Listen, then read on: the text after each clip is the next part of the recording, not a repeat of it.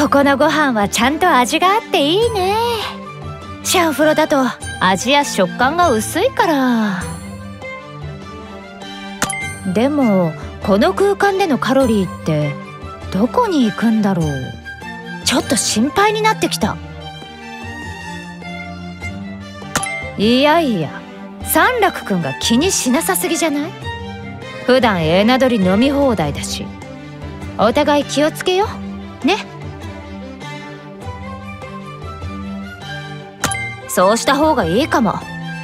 どこにいても油断のない完璧な体を目指す。